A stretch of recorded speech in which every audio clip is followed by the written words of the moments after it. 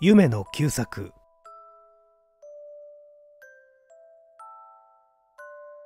いや院長さんですか？どうもお邪魔します。えー、早速ですが私の精神状態もおかげさまでやっと回復いたしましたから今日限り退院させていただこうと思いまして実はご相談に参りました次第ですが。どうも長々ご厄介に相なりまして何ともお礼の申し上げようがありません。ええ。それから入院料の方は家へ帰りましたら早速お届けすることにいたしたいと思いますが。あはいかにも。なるほど。事情をお聞きにならないことには退院させるわけにはいかぬとおっしゃるのですね。いや重々ごもっともです。それでは事情を一通りお話しいたしますがしかし他へお漏らしになっては困りますよ。何しろ私の命に関わる重大問題ですからね。なるほど。患者の秘密をいちいち他へ漏らしたら医者の商売は成り立たない。特に病院というものは世間の秘密の保管倉庫見たようなもの。いやご信用申し上げます。ご信用申し上げるどころではありません。それでは事実を打ち割って告白いたしますが何を隠しましょう。私は殺人犯の前科者です。破獄逃亡の滞在人です。婦女を誘拐した愚劣漢であると同時に二重結婚までしたハレンチ極まる人否人。いやお笑いになっては困ります。そんな風にお考えくださるのは重々感謝に絶えない次第ですが。しかし事実を曲げることは断然できませぬ。ご承知の通り現在ただいまの私は北海道の炭鉱王と呼ばれていた谷山家の養子師秀丸と認められている身の上ですからね。私の実家も定めし立派な身分家柄のものであろうと10人が10人思っておられるのはむしろ当然のことかもしれませんが遺憾ながら事実はまるで正反対。と申し上げたいのですが実はもっととひどいのです。その証拠に私が谷山家に入り込みました直前の状態を告白いたしましたら誰でも開いた口が塞がらないでしょう。私は大正バツ年の夏の初めに原因不明の仮死状態に陥ったまま北海道は石狩川の上流から大雨に流されてきた一個のルンペン死体に過ぎなかったのです。しかも頭髪やひげをぼうぼうと生やした原始人そのままの丸裸で岩石のこすり傷や川魚の突き傷を全身一面に浮き上がらせたまま餌牛参加の絶唱に臨む炭鉱王谷山家の豪華を極めた別荘の裏手に流れ着いてそこに滞在していた小樽タイムスの記者坊の解放を受けるうちにやっと息を吹き返した無名の一青年に過ぎなかったのです。いやお待ちください。お笑いになるのは重々ごもっともです。話がいちいち脱線しすぎておりますからね。のみならずこの話は谷山家の内輪でも絶対の秘密になっておりますのでご存知のないのもごもっとも千番ですが。しかし私は天地神明に誓ってもいい事実ばかりを申し上げているのです。いや全くの話です。そればかりじゃありません。ただいまから告白いたします。私の身の上話を。冷静な第三者の立場からお聞きになりましたらそれこそもっともっと非常識を極めた事実がまだまだどれくらい飛び出してくるかわからないのです。ですからそんなのをいちいちご心配くだすったらせっかくの告白が天切り型なしになってしまうのですがしかし同時にそれが本当に意外千万な機械極まる事実であればあるだけそれだけ谷山家の固い秘密として今日まで絶対対に外へ漏れなかったものという事実だけはどうかお認めを願いたいと思うのです。ことに内地と違いまして未開野蛮なむしろ神秘的なところの多い北海道の出来事ですからねそこのところを十分にご神釈くだすってお聞き取り願いましたならばこのお話がよたかよたでないか。精神病患者の素晴らしいイリュージョンか。それとも正気の人間が告白する明確な事実物語かということは話の進行につれておいおいとお分かりになることと思いますからね。ところでです。その小樽タイムスの記者ボート近隣の医師の介抱によりましてやっと仮死状態から蘇生しました私はどうした原因か分かりませんが自分自身の過去に関する記憶を完全に喪失しておりましたのです。もっともその当時は私の頭にひどい打撲傷が残っておりましたので多分どこか高いところから落っこって頭を打った瞬間にそんなへんてこな状態に陥ったものじゃなかったかと今でも思っている次第ですが。しかしこんな実例は先生の方が失礼ながらお詳しいことと存じますが。ああそんな実例を見たことはないが話にはよく出てくる。真面目な事実としてありえるかもしれない。なるほど。とにかくそれから後というものを私はその記者坊から指導される間に間に自分自身の過去をすっかりカモフラージュしておりました。自分は九州佐賀の生まれで親も兄弟もない孤児である。無論学問という学問もしていないが最近東京で事業に失敗してこの世を悲観した結果人石未踏の北海道の山奥で自殺して死骸を熊かわしの餌食にするつもりで山又山をむちゃくちゃに分け登っていくうちに誤って石狩川に陥ったもの。とかなんとか言ったようなデタラメで別荘付近の人々をごまかしてしまいました。それから伸び放題になっていた頭をハイカラに手入れして見違えるようなシャンに生まれ変わりましたがしかしそんな風にして生まれ変わりは変わったもののもともと行く先も帰る先もない風来坊の身の上でしたから仕方がありません。その記者が寝巻きにしていた古浴衣をもらい受けましてその別荘のご厄介になりながら毎日毎日ぼんやりしていたわけでしたが。え？その新聞記者の名前ですか？えー、っとおやおかしいな。なんとか言ったっけが、つい今さっきまではっきりと覚えていたんですが、おかしいな。つい度忘れしちゃって、ちょっと思い出せないんですが。え？何ですって？命の親様の名前を忘れるなんて、言語道断だとおっしゃるのですか？と、とんでもない。あんな奴が命の親様なら、猫いらずは長生きの妙薬でしょう。私が前に申しましたような容易ならぬ滞在人の前科者という事実を早くもその時に看破するや否や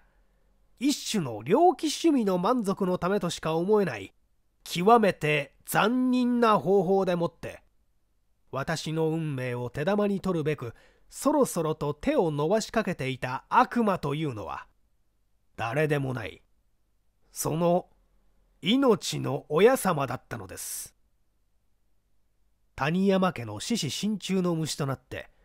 私を半気違いになるまで苦しめ抜く計画を冷静に巡らしていたけだものがその新聞記者だったのです。ええ。そうですね。それじゃあそいつの名前を思い出すまで仮に A とでも名付けてお話を進めておきますかね。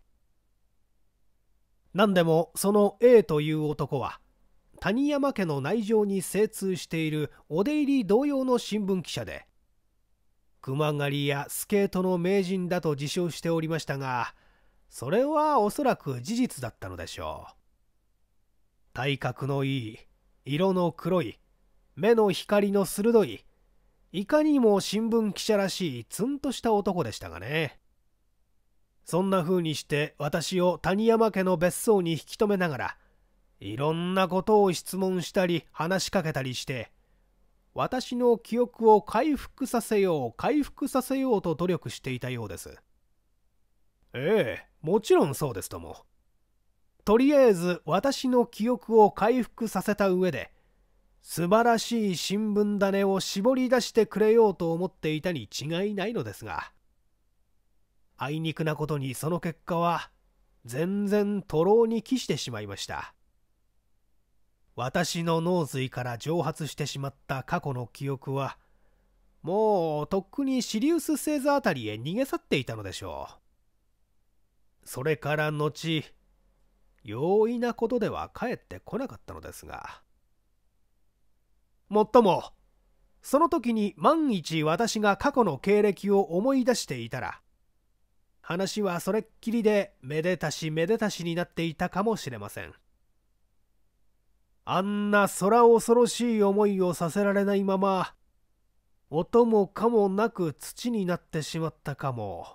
しれないのですがね。それから約2週間ばかり経ったある暑い日のことでした。炭鉱王谷山家の一粒種の女主人公で両親も兄弟もない有名なわがまま者で同時に小樽から函館へかけた社交界の女王と呼ばれていた達代さんと称する23になる令嬢がおばさんと称する中年の婦人を23人お供に連れて愛別からできた振動をドライブしながら突然に餌牛傘下の別荘へやってきたのです。そうして私は間もなくその令嬢のお目に留まることになったのです。ええ。そうなんです。お話のテンポが非常に速いようですが事実ですから致し方がありません。もっとも後から聞いてみますとそのわがまま女王の達代さんは小樽の本宅に回ってきた A 記者の報告によって私のことを承知するや否やたまらない好奇心に駆られたらしく何もかもほったらかして私を見に来たものだそうですがしかも来てみるや否やたった一目で宇治も素性も知らない風来坊の私を捕まえて死んでも離さない決心をしたというのですから。そのわがままさ加減がいかに甚だしいものがあったかがあらかたお察しできるでしょう。どうものろけを申し上げるようで恐れ入りますがしかしまた一方に私も私です。ただいま申しました通りに過去の記憶をなくしていることをはっきり自覚していたんですから。万一ずっと以前に約束した女がいはしなかったかぐらいのことはその時にちょっと考えてみる必要があったかもしれないのですがみじんもそんなことに気がつかず無論私どもの後ろで A が赤い舌を出していようなぞとは夢にも気づかないまま。妖艶はつらつを極めた達代さんの女王ぶりに魂を奪われてばかりおりましたのは何と言っても一生の不覚でした。あるいはこれが運命というものだったかもしれませんがね。その結果は改めてお話しするまでもなく世間周知の事実ですから略させていただきます。ただ私がその達代の超特急なわがままと A 記者の不思議なほど熱心な仲介によりまして谷山家の養子に収まることになりますと何よりも先に驚かされた事実が3つありましたことを念のため申し上げておきましょう。その第一というのは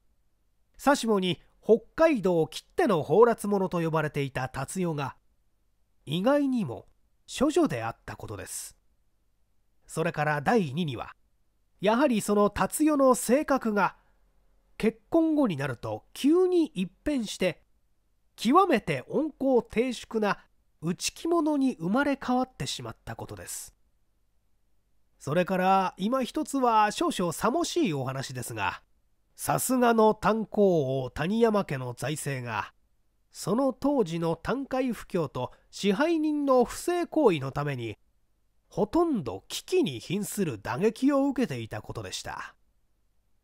ですからつまるところ私は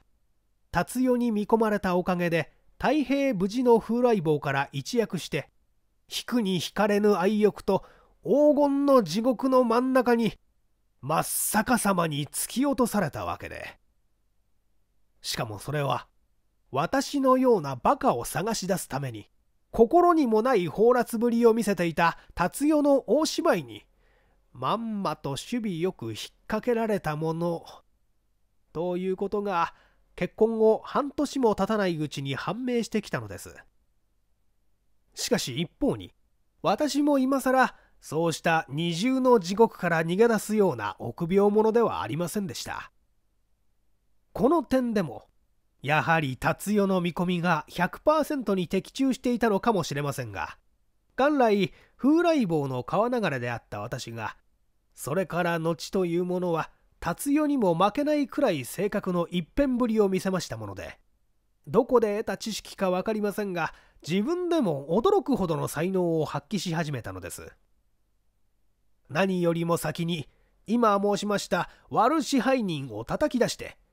危機に瀕した谷山家の財政をどしどし整理していく片手間にその当時まで誰も着眼していなかったニシンの倉庫業に成功し谷山燻製ニシンの販路を固めてみるみるうちに道家万代の基礎を築き始めましたので谷山一家の私に対する信頼は嫌が上にも高まるばかり。そういう私も時折は我ながらの幸福感に陶酔しいしもっともっと優越した将来の夢を妻の達代と語らい誓ったこともありました。しかし今から考えますとそうした幸福感はほんのつかの間の夢だったのです。私の一心に絡まる奇怪な因縁はなかなかそれくらいのことでおしまいにはなりませんでした。それは私どもの間に長男の龍太郎が生まれてから1年と経たないうちのことでした。妻の達代が突然にそれこそ本当に突然にカルモチン自殺を遂げてしまったのです。同時にその書き置きによって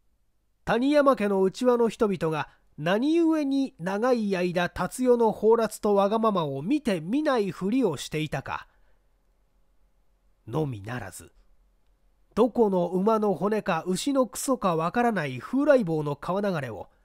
よく調べもせずに炭鉱王後継者として承認したかという理由がはっきり分かったのですがかよう申しましたら先生はもうあらかた事情をお察しになっているでしょう。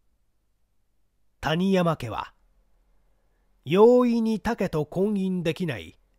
忌まわしい病気を遺伝した家柄なのでした。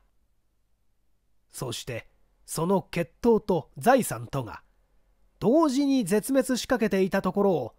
私のおかげでかろうじてつなぎ止めたという状態なのでした。ところがその危なっかしい決闘が龍太郎の誕生によってやっとつなぎ止められたと思う間もなく達代自身の肉体に早くもその忌まわしい遺伝病の前兆が現れ始めたことが分かりましたので誠に申し訳ないがあなたにつまり私にですね情けない姿をお見せしないうちにお別れする決心をしました。これが私の最後のわがままですから何卒お許しください。私はあなたを騙すまいとした私の真心を騙し得ないであなたと結婚しました。その深い罪のお詫びはたとえこの儚い玉の尾が絶えましてもとおそばに付き添うていたします。お別れしたくない。子供のことをくれぐれもお願いします。私の真心をたった一人信じてくださるあなたのお心におすがりして死んでいきます。今はただ天道様の無情を恨むばかり。といったようなそれはそれは哀説を極めたものでしたが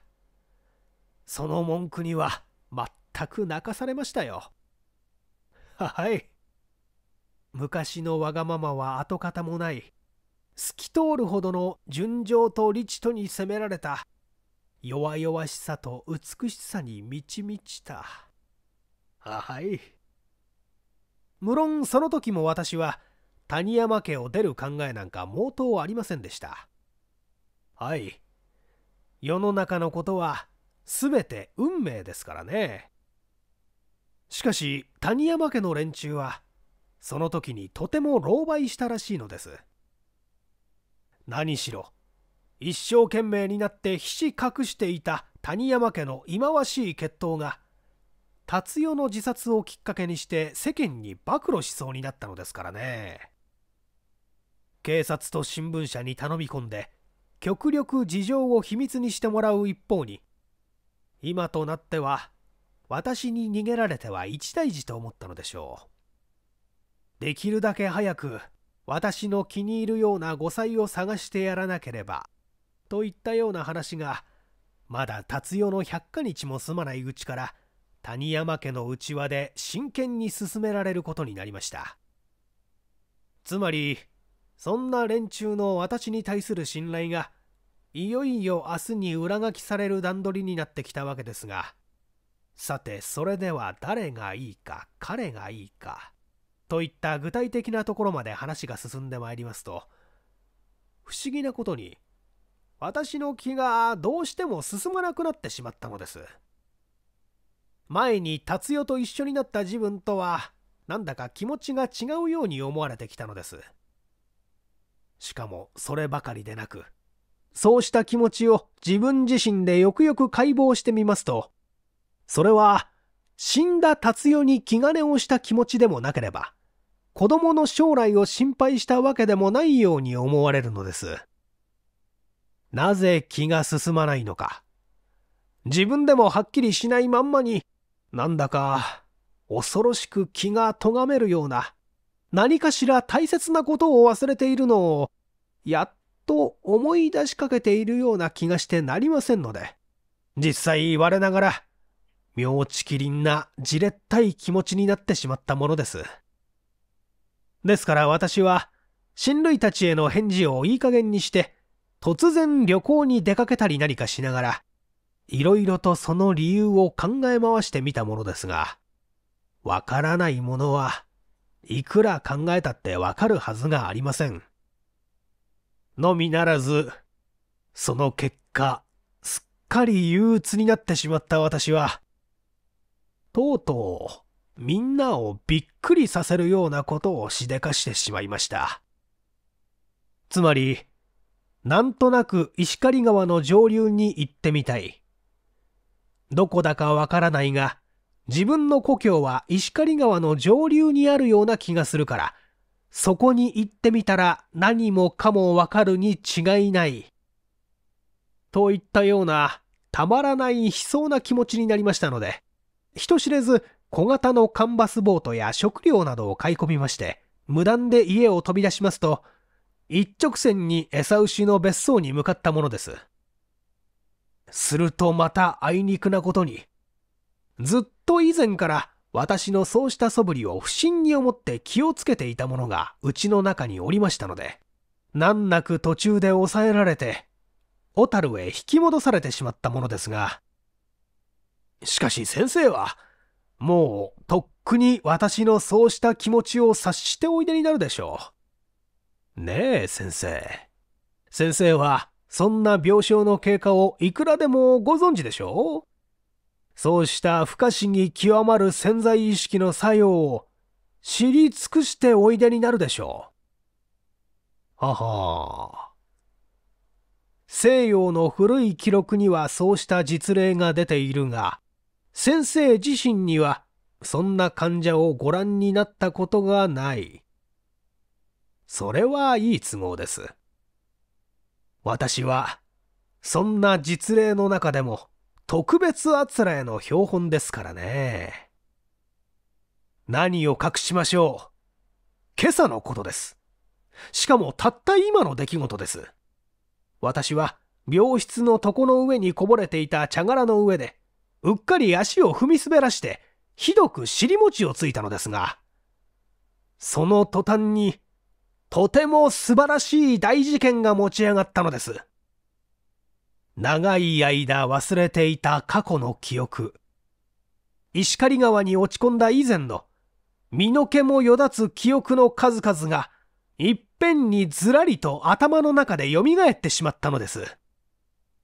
同時にもうこれで私は自分の頭の故障から完全に解放された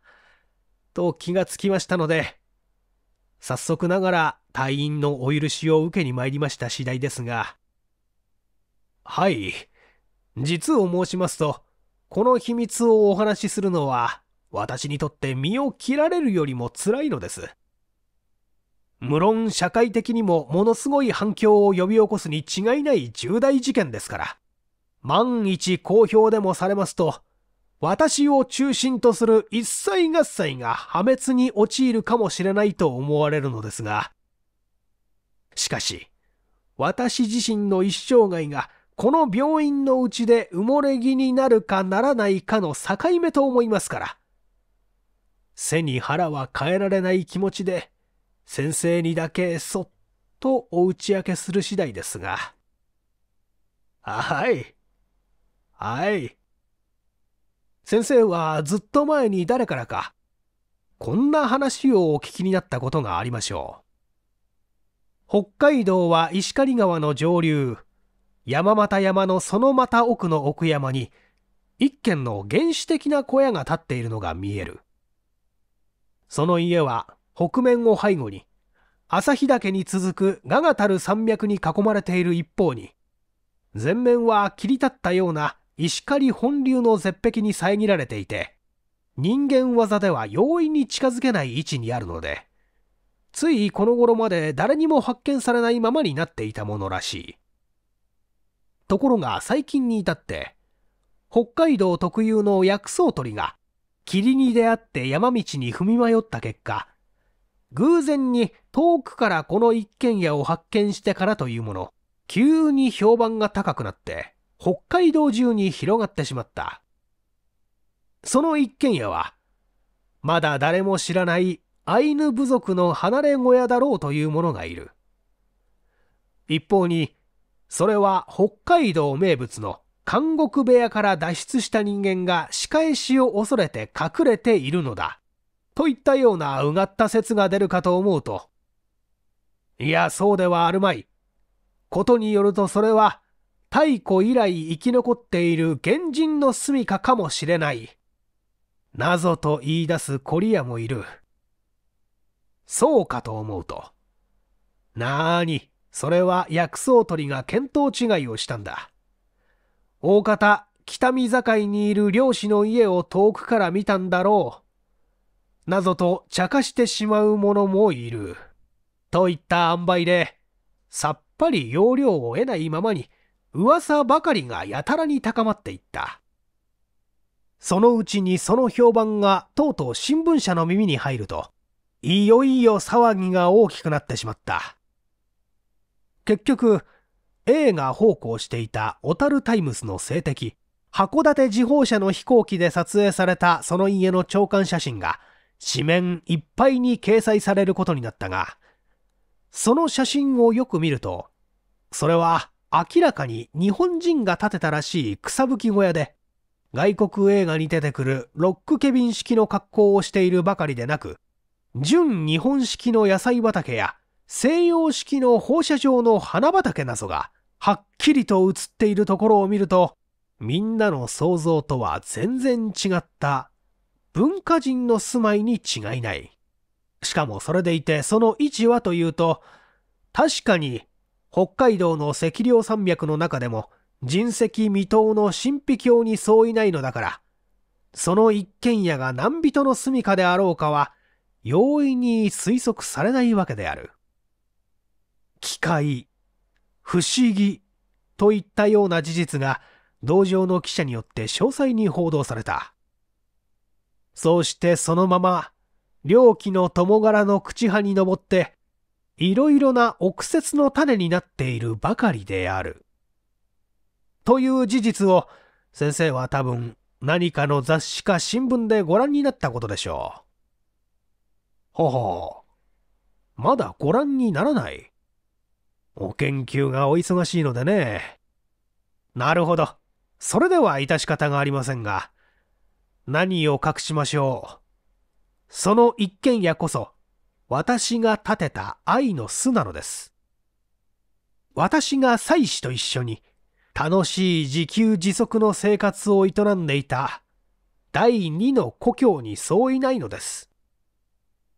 いや、どうも。ごめんください。どうも、胸がいっぱいになりまして。はい。私は、石狩本流の絶壁から墜落した途端に、そうした記憶をすっかり失っていたのです。ええ事実ですとも事実ですとも。私の戸籍が偽物であることは、私の生まれ故郷の村役場にご紹介くだされば一目瞭然することです。その戸籍面を偽造して、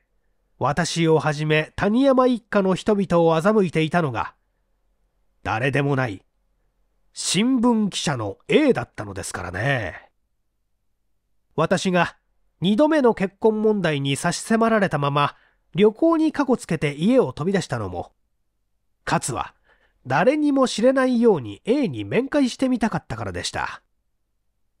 A はその頃、小樽タイムスを辞めて、九州地方をうろついているという噂でしたからね。何かしら私の過去について探りに行ったのじゃないか、というような気がしたからです。それから二度目にもう一度家を抜け出した時も、そうした潜在意識に支配されていたのでしょう。なんとなく石狩の上流に行ってみたい。そうしたら何もかもわかるに違いない。といったような気持ちになったからでした。しかし、もはやそんな無駄骨折りをする必要はなくなりました。私が完全に過去の記憶を回復しているのですからね。同時にそのおかげで、谷山家の養子事件を裏から操り回してきた冷血残忍な A の手の動きをはっきりと見透かしながらお話しすることができるのですからね。私は、福岡県朝倉郡の蔵主や、畑中正作の三男で、正雄と呼ばれていたものです。父の持山に葡萄を栽培するのが目的で、駒場の農科大学に入学して、卒業間際になっていたものですが、九州人の特徴として、器量もないくせに政治問題の研究に没頭した結果、当時の大政党県友会の傍聴に憤慨し、同会総裁兼首相であった白原慶吾氏を暗殺して、終身懲役に処せられ、北海道カバトの監獄に送られて間もなく脱獄し、地来、用として消息を絶っていたもの、と申しましたら、その他の細かい経歴は申し上げずともよろしいでしょう。暗殺、逮捕、脱獄の前後を通じて、全国の新聞紙に行々しく掲載されていたものですからね。しかし、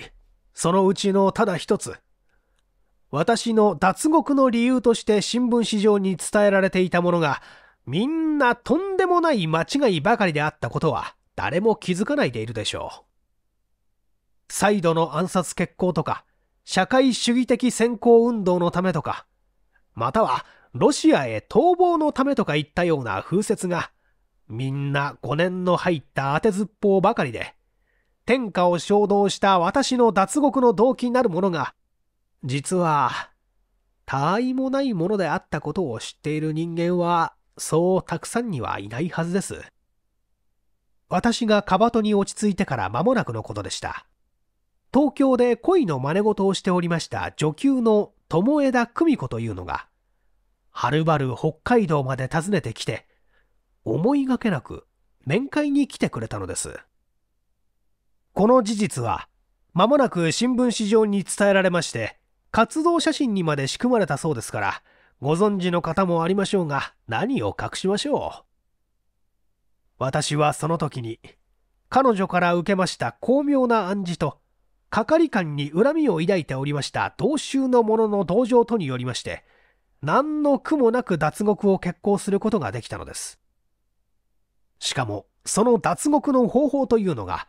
特に私の命に関わる重大問題でありまして、同時に同州の恩人たちにも非常に迷惑のかかる話ですから、こればかりはこの口を引き裂かれてもお話できないのです。が、ともかくもそのような事情で、守備よく逮捕の手を逃れました私は、彼女と共に石狩川の下流を越えまして、例の絶対安全の神秘境に恋の巣を営むことになったのです。もっとも、こんな風に話してまいりますと、何のことはない、おとぎ話見たような筋道になってしまいますが、しかし、そこまで来る間の私どもの真苦観難と、それから後の古軍奮闘的生活といったら、まさにロビンソン・クルーソー以上の祈願を綴るに足るものがあったのですよ。私はカバトを脱出すると、そのまま持って生まれた見客を利用して、山又山を逃げ回りながら、一心に久美子の行方を探索し始めたものです。無論、囚人服を着たままですから、夜しか人里に出られなかったわけでしたが、私は、盗みというものを絶対にしない方針でしたので、どこまでも青いお色せ姿で、鳥獣と同じ生活をしていかなければなりませんでした。ですから、その最初の間の苦しみというものは、実に想像の外でしたが、しかしまた一方から申しますと、そうした辛抱のおかげで、私の逃げ足が絶対にわからなかったのですから、つまるところ、差し引きの損得はなかったかもしれません。のみならず、その辛抱の甲斐がありまして、脱獄してから1ヶ月目に、新旭川付近のとある村外れで、彼女が私に暗示していた小さな記述劇団の辻びらがぶら下がっているのを発見しました時の、私の喜びはどんなでしたろう？たちまち勇気を100倍しました私は、あらゆる危険をものともせずに、檻からの闇夜に紛れて、旭川の町にかかっているその劇団につきまとうたものでしたが、そのうちに、とうとう彼女と連絡を取ることに成功しますと、私は迅速に手はずを決めまして、一気に彼女を引っ張り出してしまったのです。その時に命と頼む者は、大急ぎで彼女に買い集めさせた一丁の桑と、一本のナイフと、リュックサックに詰めた二つの鍋と、6貫目ばかりの食料だけでした。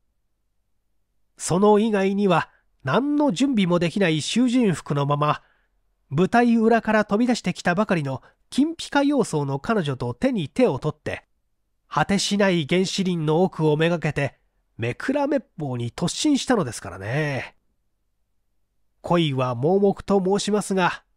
これくらい思い切った盲目ぶりは、ちょっと他に類がないでしょう。しかもその途中では、新山幽谷に慣れた薬草取りでも震えおののく、寒い寒い霧に包まれて、二日二晩も絶食したまま、土の中に穴を掘って潜り込んだり、または背丈よりも高い干木材を一旦部以上も撒き散らして、木の根を掘った上熊の爪の跡を見て、もう運の月だと諦めて、二人で抱き合って泣き出したり、それはそれは、喜劇とも悲劇ともつかない情けない目や恐ろしい目に何度あったものかわかりません。ところで、そのような次第で木の実、茅の実を拾いながら、やっとのことで、念がけていた人石未踏の山奥に到着しますと、私は、真空観難をして持ってきたクワとナイフで木を切り倒して、頑丈な掘ったて小屋を作り、畑を耕して、自給自足の生活を始めると同時に、小川の魚を釣って干物にしたり、木の実を煮て筒に入れたりして、冬ごもりの準備を始めました。二人はそこで初めて、この上もなく自由な原始生活の楽しさを悟ったのです。科学、法律、道徳といったようなやかましい条件に縛られながら生きていることを、文化人の自覚とか何とか錯覚しているバカどもの世界には、夢にも帰りたくなくなったのです。二人は約束しました。二人は、これからのち、いくら子供ができても、年をとっても、もう人間世界へは帰るまい。アダムとイブが子孫を地上に繁殖させたようにして、我々の子孫をこの神秘教に限りなく繁殖させよう。自然のままの文化部落を作らせよう。と。彼女はそれから年子を産みました。私が21の年から25までの間に、男の子と女の子を2人ずつ、都合4人の子供を産みましたが、みんな病気一つせずに成長しましたので、山の中が次第に賑やかになってまいりました。ところが忘れもしません。その25の夏のことでした。最前お話ししました新聞社の飛行機が、突然、私の家の上を横切りましたのは、その時の子供たちの怯えようと言ったらありませんでした。ちょうど私は、うちの前の草原に放射状の花壇を作って、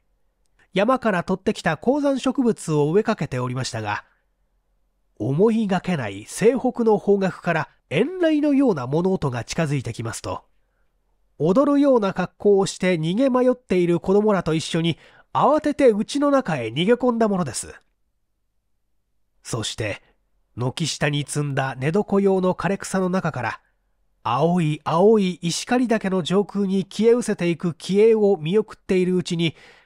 何かしらたまらない不吉な予感に襲われましたので、ほーっとため息をついておりますと、その背後から、久美子もそっと不安げな顔を差し出して、私たちを探しに来たのじゃないでしょうか。と言ったものです。それを聞くと私は思わずドキンとしましたが、しかし顔ではさりげなくびくしをしまして、なーに、俺たち見たような人間を探すのに、わざわざあんな大げさなことをするもんか。しかも今頃になって、ははは。と打ち消すには打ち消したものの、それでも抑えきれない不吉な胸騒ぎを、どうすることもできないまま立ちすくんでいたことでした。私はそれから後四五日の間というもの、どうしても遠くに出歩く気がしなかったものです。私はそれから後四五日の間というもの、どうしても遠くに出歩く気がしなかったものです。無論、写真まで撮られていようなぞということは夢にも気づきませんでしたので、ただ私たちのいる神秘鏡を出し抜けにかき乱していった巨鳥の姿を思い出しては、ため息しいしい、うちの周囲の畑ばかりをいじくっていたものですが、そのうちにまた、目の前に差し迫っている冬ごもりの用意のことを思い出しますと、何がなしにじっとしてはいられなくなりましたので、お天気のいいのを幸いに、手製の玉網を引っ担いで、マスを救いに出かけました。久美子は、その時にも不安そうな顔をして私を引き止めましたが、やはり虫が知らせたとでも申しましょうか。それを振り切って山を降りまして、紅山桜や桂の草林を分けながら、屏風を切り立ったような石狩本流の崖の上まで来ますと、縄木の皮で作った丈夫な網をぶら下げまして、下の石原に降り立って、岩の間のよどみに迷うマスや小魚をすくい上げすくい上げしておりました。すると、どうでしょう？まだほんの5、6匹しかすくい上げていないと思ううちに、つい向こうの川隅の岸壁の影から、中折れ棒を目深にかぶった様相の青年が、畳ボートを引っ張りながら、ひょっくりと顔を突き出したではありませんか。私は、その青年としばらくの間、顔を見交わしたまま立ちすくんでいたようです。しかしそのうちに電光のように、これはいけないと気がつきますと、大切な玉網を腰巻きの紐に刺すや否や、崖にぶら下がっていた網に飛びついて、一生懸命によじ登り始めました。が、しかしもう間に合いませんでした。まだ半分も登りきらないうちに、思いがけない激しい銃声が2、3発渓谷の間に反響して、私のすがっていた網が中途からぷっつりと打ち切られました。と思うと、一旦岩の上に墜落しました私は、心神喪失の仮死状態に陥ったまま、苔だらけの岩の斜面を急流の中へ滑り落ちて、そのまま見えなくなってしまったものだそうです。この時に私を撃ち落とした様相の青年が、最前お話ししました新聞記者の A であったことは申すまでもありません。同時に、この時に響いた2、3発の銃声こそは、A が私の運命を手玉に取り始めた、その皮切りの第一着手であったことも、とっくにお察しがついていることでしょう。ただし、ここでちょっとお断りしておきたいのは、この時まで A が私に対して別段に深刻な野心を持っていなかったことです。むしろ A は、私という奇妙な人間を発見して、たまらない好奇心を挑発されていくうちに、いつの間にか悪魔的な残虐趣味の世界へ誘い込まれていったもの、と考えてやった方が早分かりすることです。手早く申しますと A は、新聞記者一流の巧妙心に駆られた結果、夏の休暇を利用して、朝日岳の麓の一軒家の回帰を探りに来た人間に過ぎなかったのです。性的、函館時報社の飛行機に宣弁をつけられて、地団打を踏んでいた小樽タイムス社と、その後援者というべき谷山家の援助を受けまして、畳ボートと食料と、それから腕に覚えのある熊狩り用の5連発ライフルを担ぎながら、震源と旧端との千変万化を極めた石狩川を遡ってきたわけでしたが、幸運にも、その一軒家の主人公らしい怪人物を発見すると、間もなく取り逃がしそうになりましたので、思い切って私を威嚇すべく、頭の上を狙って2、3発実弾を発射したものに過ぎませんでした。ですから A が、その時にどれくらい狼狽いたしたかは、ご想像に難くないでしょう。すぐに畳ボートを押し出して、危険を冒しながら激流の中を探し回りました。そのうちに、どうしても私の死骸が見つからないことが分かりますと、今度はたまらない空恐ろしい気持ちになってきました。A は、たびたび申しました通り、冒険好きの新聞記者です。つまり、普通とは違った神経を持っていたわけですから、人間を一人や二人そっと見殺しにするくらいのことは、何とも思わない性格の男にそういないのでしたが、しかし、何しろ人跡絶えた山奥の渓谷で水の音ばかり聞こえる石爆鏡ですからね。そんなところで、思いがけなく奇妙な格好をした丸裸の人間を一匹撃ち落としたのですからね。何とも言えない危機に迫られたのでしょう。四五日もかかって遡った急流激嘆をたった一日で走り下って、餌牛傘下の谷山別荘に帰り着くと、人知れずほっとしいし、ウイスキーを飲んで眠ったものだそうです。ところが、その明くる朝のこと、何かしら近所の人々の騒ぎ回る声が耳に入ったので、何事かと思って A が飛び起きてみると、どうでしょう？見覚えのある私の丸裸の死体が、自分の寝ている離れの座敷のすぐ下の石段のところに流れ着いているではありませんか。その時の君の悪かったこと、あの石狩川の上流で私を撃ち落とした時以上の嫌な気持ちにぞーっと襲われたと言いますが、それはそうでしたろう。世にも恐ろしい因縁と言えば言えるのですからね。しかしその死体をそのまんま知らん顔をして見逃すことは、さすがに A の好奇心が承知しませんでした。のみならず、その死体の血色や何かがなんとなく違っていることが素人目にも分かりましたので、付近の者に手伝わせながら、気味悪気味悪石段の上の芝生に引き上げて、駆けつけてきた医者と一緒に介抱をしておりますと、そのうち意識を回復しかけた私が、非常な高熱に浮かされながら、盛んに上事を言い始めたものだそうです。ところがまた、その上ごとのうちに、普通人にはちんぷんかんぷんの囚人用語がちょいちょい混じっているのに気がつきますと、A は、たちまち今までの恐怖心理からいっぺんに解放されまして、みるみる持ち前の記者本能に立ち返ってしまったものだそうです。つまり、是が非でも私の告白を絞り取って、有力な新聞種にすべくあらゆる努力を払ったわけでしたが、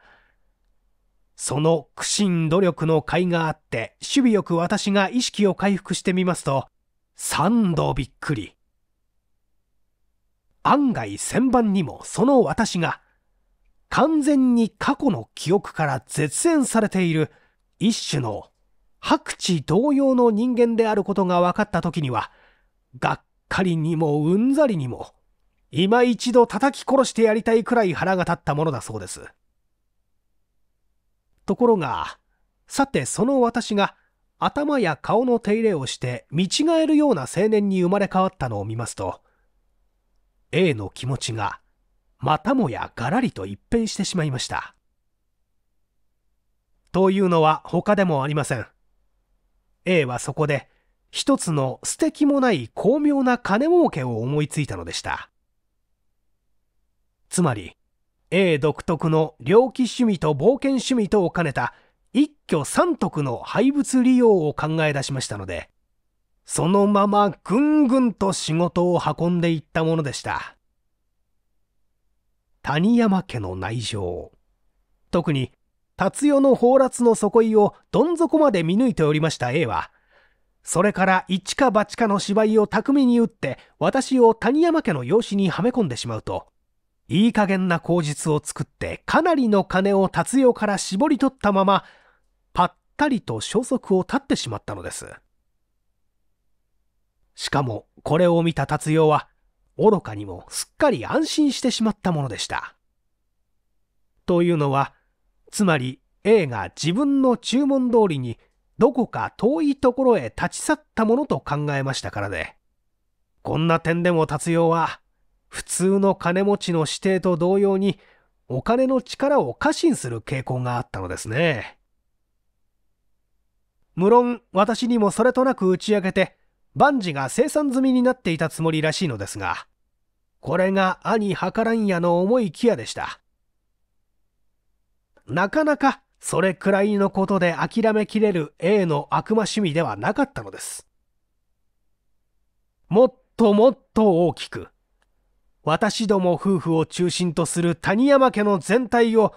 地獄のどん底に落ちるまで絞り上げながら、高みの見物をしてやろうという、その準備計画のために、ほんのしばらくの間、姿をくらましていたものに過ぎませんでした。A はまず、彼の記憶に残っている、私の言葉の九州なまりと囚人用語との二つの手がかりを目標にして、探索の歩みを進むべく、とりあえず、小樽タイムスを飛び出して、九州北部の大都会、福岡市の片隅にある小さな新聞社に就職しました。そしてそこを中心にした同県下の警察や新聞社方面について私の年齢に相当した前科者や失踪者の名前を根気よく探し回ったものですがそのうちに偶然にも福岡市の某大新聞社に保存してある67年前の新聞の閉じ込みの中から青年資格という大活字を添えた私そっくりの大きな写真版を発見した時の A の驚きと喜びはどんなでしたろう。他の新聞に出ていた囚人姿や学生姿の写真がみんな私に似ても似つかぬ朦朧写真であったのにたった一つその紙面にだけ掲載されていた私の少年時代の浴衣掛けのそれが、現在の私に酷似していたことは、なんという奇跡でしたろう。しかもそこまでわかると、A の仕事はもはや半分以上片付いたようなものでした。その社の整理係の連中に知れないように、精巧な写真機を担ぎ込んで、その紙面ばかりでなく、私の生い立ちや脱獄の記事を満載した紙面までも残らず複写して、一直線に北海道に帰ってきました A は、その後の私の動静を詳細にわたって探り回ったついでに、二人の間に愛の結晶ができかけている事実まですかさずキャッチしてしまいますと、なおも最後的な脅迫材料をつかむべく、もう一度極秘裏のうちに石狩川の上流を探検に出かけたものです。彼は、もうその時には、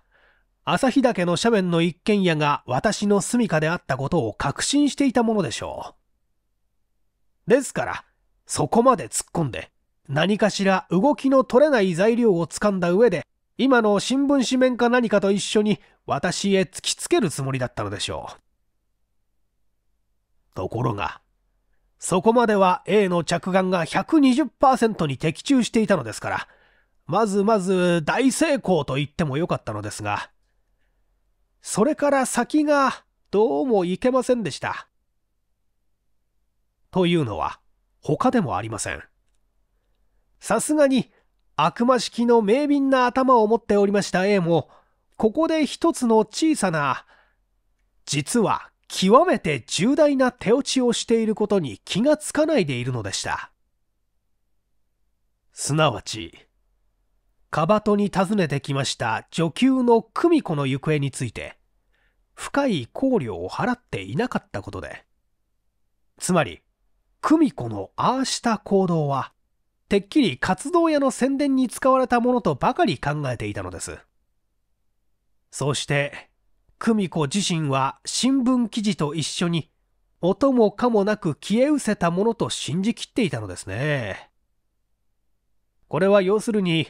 A の頭があんまり冴えすぎていたところから起こった間違いでしたが、しかもそのおかげで、せっかくの A の計画が実に位相外ともノンセンスとも言いようのない悲惨な結果に陥ることになったのです。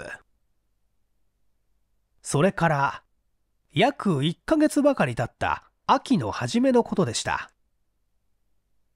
骸骨のように痩せこけた体にボロボロの登山服をまとうてめちゃめちゃに壊れたカメラを首に引っ掛けた古事記前たる男の姿がひょっこり旭川の町に現れて、何やらわけのわからないことを口走りながら、うろうろし始めました。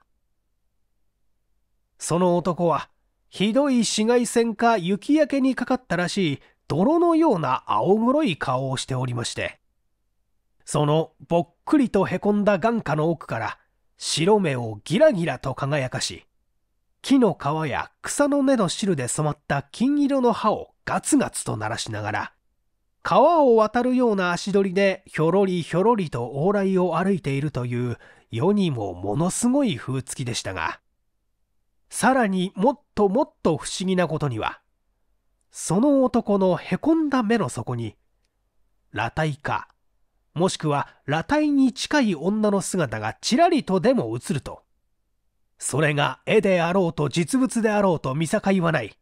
ちぎれた登山靴を宙に飛ばして逃げ出していくのでした。そして、知らないうちでも自動電話でも何でも構わない。いきなり砲台に飛び込んで助けを求めるかと思うと、進行中の電車や汽車に飛び乗りかけて跳ね飛ばされたりするので、とても検問でしようがないのです。ええ、そうなんです。近頃は方々の店先に裸体画が増えてきましたからね。おまけに秋口といっても、旭川の日中はまだ相当暑いのですからね。何でもそれらしいものを見さえすれば、絵はがき屋の前だろうが川の中の洗濯女だろうが見境はない。または一里先だろうが鼻の先だろうが同じこと。悲鳴を上げて狂い出すので、とうとう旭川の町中の大評判になってしまいました。ところがそのうちに、そのエロ狂いの骸骨男がどう戸惑いをしたものか、旭川の警察署へ飛び込んで保護を受けるようになりますと、世間はまた広いもので、意外にもその骸骨男を引き取りたいという特殊家が現れてきました。その特殊家というのは、東京の目黒にある精神病院の副院長で、その当時、旭川に帰省していた何とかいう富豪の医学士でしたが、その骸骨男、すなわち A のことを書いた新聞記事の切り抜きを持って旭川署に出頭しますと、自分の研究材料として A の身柄を引き取りたい旨をうやうやしく申し出たものだそうです。もっとも、最初のうちに A の精神状態を新聞記事によって判断したその医者は、極めて著名な式場盗作と思っていたそうで、素敵に珍しい実例として論文の材料にでもするつもりだったそうですが、ちょうどまた警察でも願ったり叶ったりのところだったので、厄払いのつもりでよく調べもせずに引き渡したものだそうですが、そうなると、そこはさすがに専門家だけあって、催眠術や鎮静剤を巧みに使い分けながら、無事に東京まで連れてきて、自分の受け持ちの病室に守備よく A を監禁してしまいました。そして、半年ばかり経過するうちに、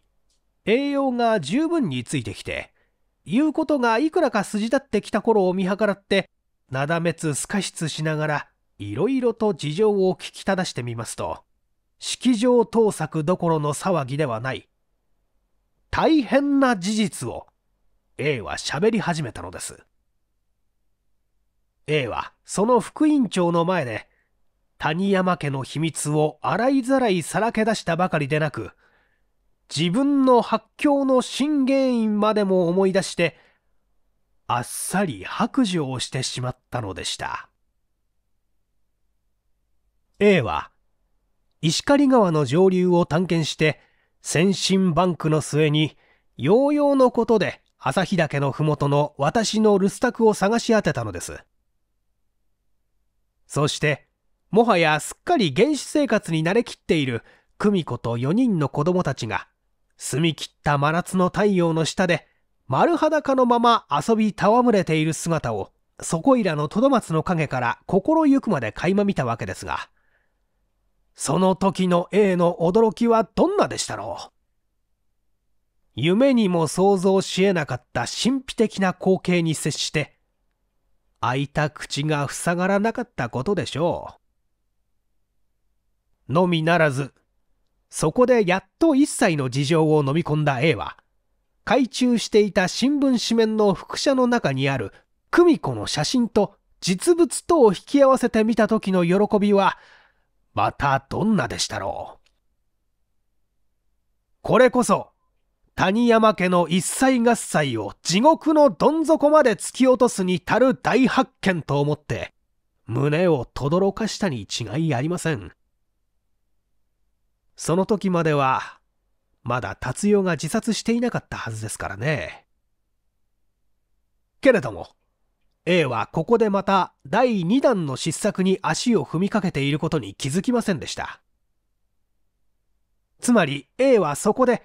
久美子と子供たちの写真を何枚か撮っただけでひとまず探検を切り上げてくればよかったのですが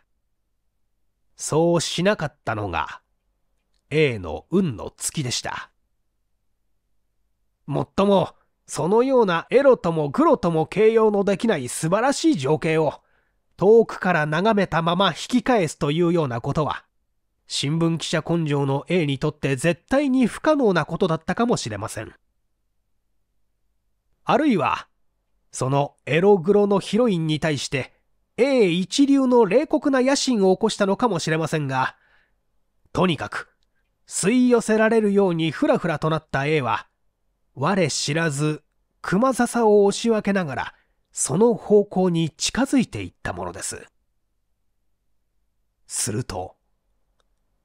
間もなく大変なことが起こりました。長い間、男気なしのまま、人跡絶えたものすごい山奥に原始生活をしてきた気の強い女。ことに、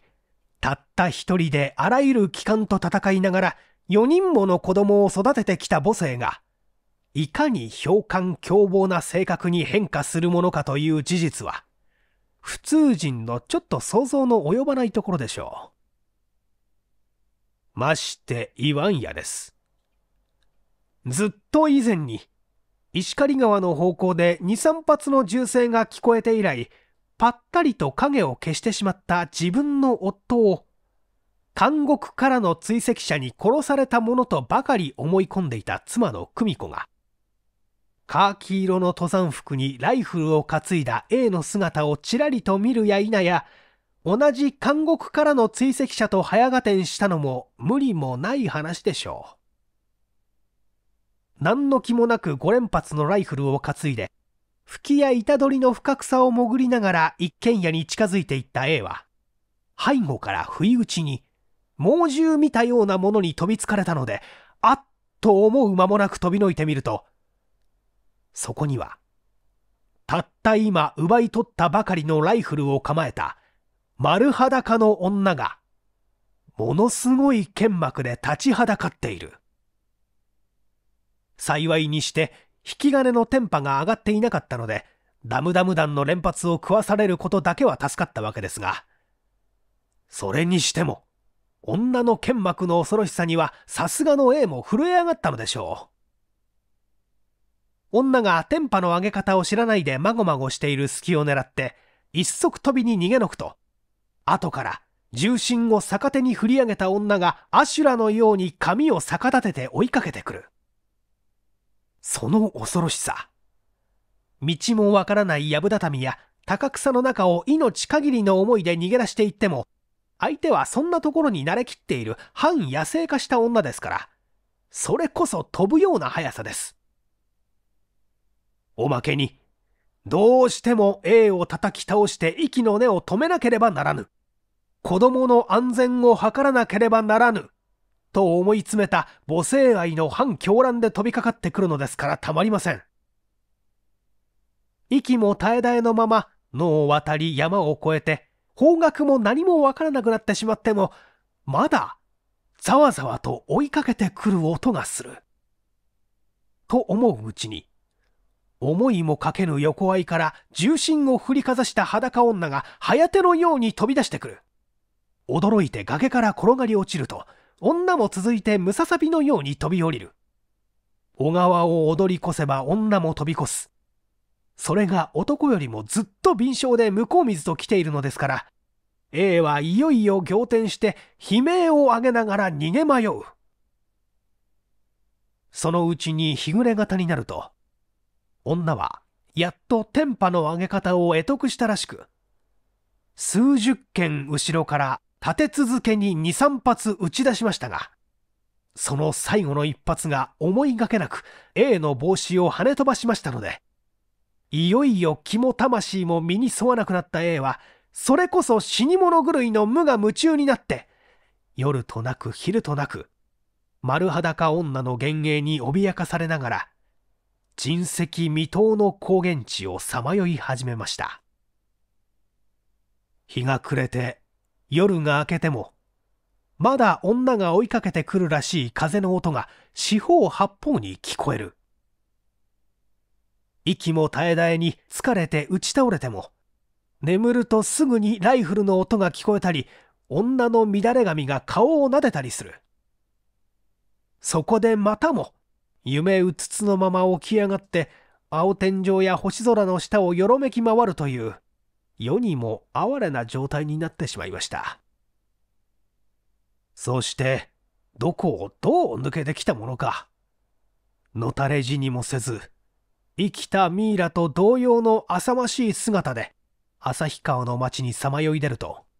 丸裸女が目につくたんびに飛び上がって悲鳴を上げる。そうかと思うと、どこへでも駆け込んで、た、大変だ!谷山家の重大秘密だ!二重結婚だ!脱獄衆の妻だ!天女の姿をした猛獣だ!謎と、あられもないことを口走るようになった。というのが、A の発狂の真相だったのです。ところで、この真相を聞き出した今の精神病院の副院長は、最初のうち半信半疑だったと申しますが、それは当然のことだったでしょう。初めからしまいまで、非常識を通り越した事実ばかりですからね。しかも、念のために病院に保管してあった A のボロボロの登山服を調べてみると、どうでしょう。A の言葉が一言一句真実に相違ないことを証明するに十分な、畑中正夫と谷山秀丸の戸籍謄本や新聞紙面の複写フィルムを内ポケットから探し出したばかりでなく、めちゃめちゃに壊れた A のカメラの中に、たった一枚無事に残っていた私の妻子のグロ写真を現像することにまで成功したではありませんか。副院長はそこで初めて、A の精神状態の回復が谷山家の重大問題となるであろう現実に気がついたものでした。そこで早速、私に宛てた至急進展で事のあらましを通知して事実かどうかを問い合わせてきたわけですがその手紙を受け取った時には私も思わずシーンとなりましたよ。無論その手紙には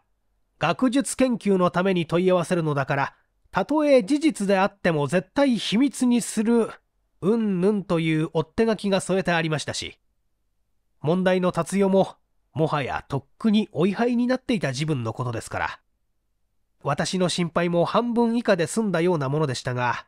しかしそれにしても重大問題にはそういないので、取るものもとりあえず上京して、目黒の精神病院を訪問してみますと、またもう、シーンとするほど脅かされたのでした。頑丈な鉄の檻の中に座り込んでいた患者姿の A は、とりあえず見舞いに来た私の顔をはっきりと記憶していたばかりでなく、何やらわけのわからない紙切れを鉄棒の間から突き出しながら、辻褄の合わない脅迫めいた文句を私に向かって浴びせかけるではありませんか。無論その紙切れは私のことを書いた新聞の副写か何かと思い込んでいたものに違いないのですが私はその副写拡大紙面の実物とブロマイドに焼き付けられた妻子のグロ写真とを並べて副院長の自室で見せてもらいましたが、それを見ているうちに初めて、自分の過去の記憶を電光のように呼び起こすことができました私は。あんまり激しいショックを受けましたために、一時失神状態に陥ってしまったものです。しかし間もなく、副院長の介抱によって正気に帰りますと、私はすぐに非常な勇気を奮い起こしまして、A が自白した一切の事実を確認しました上に、なお足りないところを詳細に副院長の前で補足してしまいました。そうして、A の一心に関する相当の保護を依頼すると同時に、私の全身を公表するかしないかという重大な判断は、たった一つ、副院長の自由意志に一任しまして、その旨を半期違いの A に詳しく言い聞かせますと、そのまま北海道に引き上げてしまいました。これは申すまでもなく、万一私の全身が公表されました場合、落ち着いて刑につくべく心用意をしておくためでした。いくら他人の秘密を預かるのが商売の精神病医でも、これほどの秘密を握りつぶすのは、容易なことではあるまいと思いましたからね。え？何ですって？私の話がトンチンカンですって？これはけしからん。どこがトンチンカンですか？私は立派に順序を立ててお話ししているつもりですが何ですか？その新聞記者の A という男の本名は、まだ思い出さないかっておっしゃるのですか？さあ、それがまだ思い出せないのですが、もうじきに思い出すだろうと思っているんですが。おや、なぜお笑いになるのですか？へえ、ここがその目黒の病院なんですか？へえ。それじゃあ A 君もここにいるわけですね。へえ、本当にいるのですか？ちっとも知らなかった。一体どこに？え？ここにいる。な、何ですか？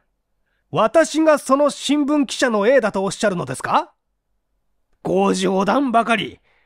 私はただいまも申しました通り、谷山家の養子師秀丸ですが、その久美子という猛獣天女の亭主に相違ないのですが、達代と二重結婚をした、あの白地同様の。え？その秀丸、谷山家の養子になった私が、ここに入院した原因をお尋ねになるのですか？そ、それはその、その発狂当時のことですから、ちょっと思い出しかねるのですが、お笑いになっちゃ困ります。鏡なんか見なくたっていいです。自分の顔は自分でちゃんと知っております。な、なんとおっしゃるのですか？その谷山秀丸は、今でもやはり谷山家の養子になって、盛んに事業界に活躍している。5歳には山の中から久美子を迎え出して谷山夫人を名乗らしている。そ、それやけしからんじゃないですか。二人は今後絶対に人間世界に帰らないと言ってあれほど固く約束していたのに。いやいや、私の想像なんかじゃないのです。事実に相違ないのです。実にけしからんですな。ええ。ええ。何ですって？ここの副院長から与えられた暗示で、見事に過去の記憶を回復した谷山秀丸は、北海道に引き返してから間もなく、副院長の誠意を込めた手紙を受け取ったので、ほっと一息安心することができた。そして A の一生涯を病院で飼い殺しにしてもらうように折り返して返事を出すと、すぐにたった一人で、極秘密のうちに旭岳のふもとへ久美子を迎えに行ったのですか？へえ。そこで、さすがの猛獣天女だった久美子も、懐かしい正雄の涙ながらの告白に負けてしまった。ああ。作り飾りのない正雄の純情に動かされた結果、達代の身代わりになって、谷山家の一粒種、龍太郎を育て上げるべく、涙ぐましい決心をした。なるほど。そこで4人の子供を左右に引き連れた猛獣天女がはるばると人間世界に天下ることになったがそれについては正雄の秀丸が思い出深い石狩川の上流から餌牛傘下の別荘まで人に知れないように連れ込むべくあらゆる苦心を払ったものである。いかにもねそれから久美子の戸籍面の届け出や子供たちの行儀作法のテストに至るまでまたもや惨憺たる苦心研究を積まされたものであるがさてその挙句いよいよ一行を谷山家に乗り込ませてみると案ずるよりも有無が安いで久美子の奥様ぶりがすこぶる板についた鮮やかなものだったので達代の再来という評判が立って一躍界隈の社交界をリードするようになった。同時に家庭も極めて円満で、5人の子供たちに微塵の分け隔ても見せないから、将来谷山家の秘密に気づく者は絶対に出ない見込みである。だからそのことについては、絶対に心配しなくてもいいとおっしゃる。なんだい。バカにしやがら。いや、あははは。これはしくじった。うっかりネタをばらしちゃった。実はね、先生をどうかして一杯引っ掛けて、まんまと守備よく退院してくれようと思いましてね。この間から寝ないで話の筋を考えていたんです。そうしたら、つい今さっき尻餅をついた拍子に自分の経歴を思い出したような気がしたもんですからね。こいつは閉めたと思って、すぐに先生のところへ来たんですが。あてね、俺は一体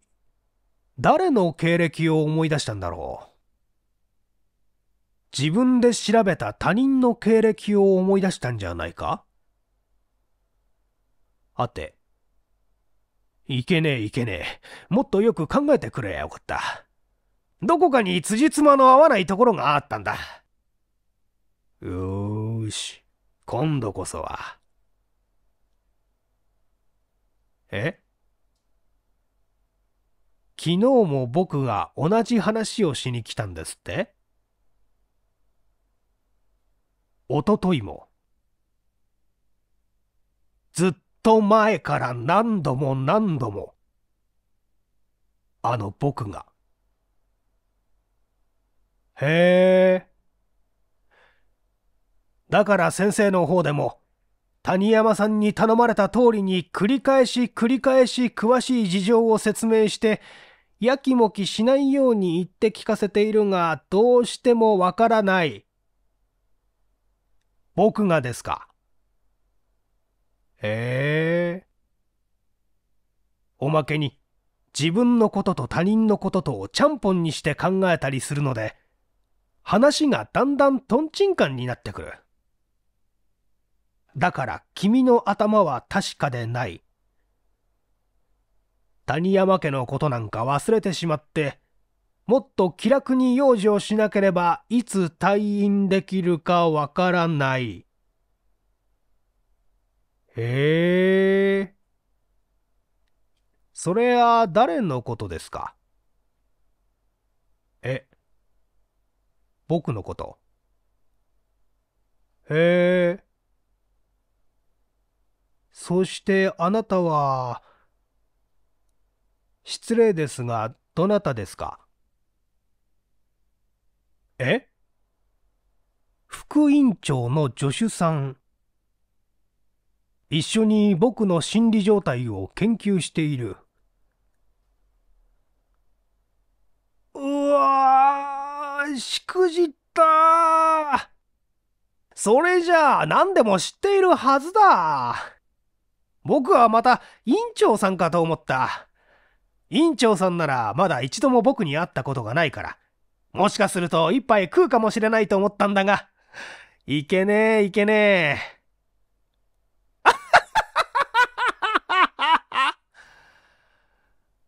ああ、くたびれたと。ねえ、先生。話ちんにタバコを一本くださいな。おや？誰も嫌がらねえ。ここは官房の中だ。おかしいな。俺はさっきから一人で喋ってたのかな。おー。一体何を喋ってたんだろう。霧の花があんなに散ってやがる。あ、忘れていた俺は達代に復讐するつもりだったんだ。あいつは俺に肘鉄を食らわせやがったんだ。私をおもちゃにするつもりって霊視しやがったんだ。だからその通りにしてやったんだ。